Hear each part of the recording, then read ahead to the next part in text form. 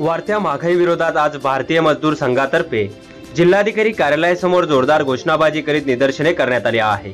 या महागाईच्या प्रश्नाकडे सरकारनं संवेदनशीलपणे पाहून त्वरित उपाययोजना कराव्यात अशी मागणीही यावेळी करण्यात आली आहे. तसेच निवेदन जिल्हा प्रशासनामार्फत मुख्यमंत्री उद्धव ठाकरे यांना पाठवण्यात आला आहे. प्रतिनिधी पवन मराठे माझा महाराष्ट्र न्यूज धुळे.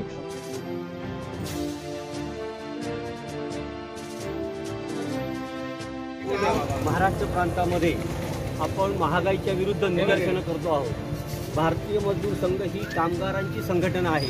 संघटित आणि असंघटित कामगारांची देशामधली नंबर एकची संघटना आहे. आणि या संघटनेच्या वतीने नऊ मेला आज संपूर्ण महा महाराष्ट्रामध्ये आपण महागाईची विरुद्ध निय- नियंत्रण हे करतो निदर्शनं करतो. ही महागाई नियंत्रण ठेवणे सरकारचं काम आहे आणि सरकारने त्यामध्ये ताबडतोब लक्ष घालून या महागाईवर नियंत्रण ठेवावं ही आमची मागणी आहे.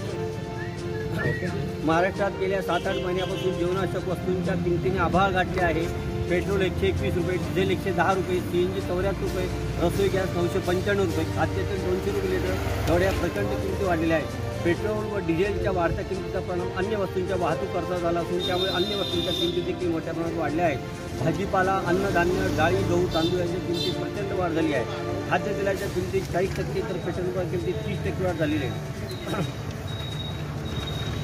महागाईच्या प्रमाणात महागाई भत्त्याबरोबर महागाई भत्ता मिळणाऱ्या कामगारांची संख्या राज्यात केवळ दहा ते पंधरा टक्के आहे. राज्यातील पंच्याऐंशी टक्के जास्त कामगारांना कुठलाही महागाभत्ता मिळत नाही. त्यामुळे सामान्य मोलमजुरी करणाऱ्या कामगारांचा रोजगाराचा जवळपास ऐंशी टक्के खर्च हा जीवनाशुद्ध होत आहे. या महागामुळे राज्यातील मोलमजुरी करणारा सामान्य कामगार मजूर अक्षरशः पिजून गेलेला आहे. केंद्र सरकारकडून राज्यातील काही कोटी नागरिकांना मोफत गहू तांदूळ मिळत असले तरी तेवढ्या गोष्टी पुरेशा नाहीत.